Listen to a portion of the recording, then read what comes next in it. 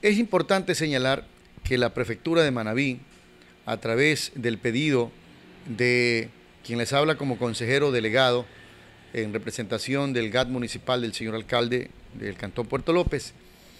hemos realizado varias, varios petitorios, los cuales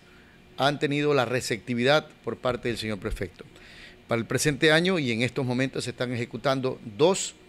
eh, obras importantes del arreglo de calles. Una en Las Tunas, donde el ingeniero Vicente García está realizando todo lo que es el acarreo de material. Son cinco volquetas que están eh, en plena disposición de trabajo y la maquinaria del Consejo Provincial, la motoniveladora, el rodillo y el tanquero complementan este trabajo con el acarreo de material. Todo lo que es el sector alto de eh,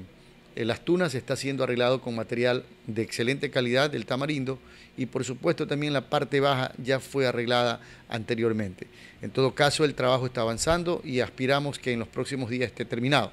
De otro lado hay un contrato vigente de cerca de 200 mil dólares con el ingeniero Romero en la ciudad de Machalilla, donde se está arreglando todas las calles, la mayoría de las calles de los diferentes barrios eh, que tiene la parroquia Machalilla, calles que estaban destrozadas totalmente, se les está colocando un buen material y allí toda una maquinaria, no del Consejo Provincial, porque este es un contrato muy aparte, no es solo acarreo de material, sino es compactado, tendido,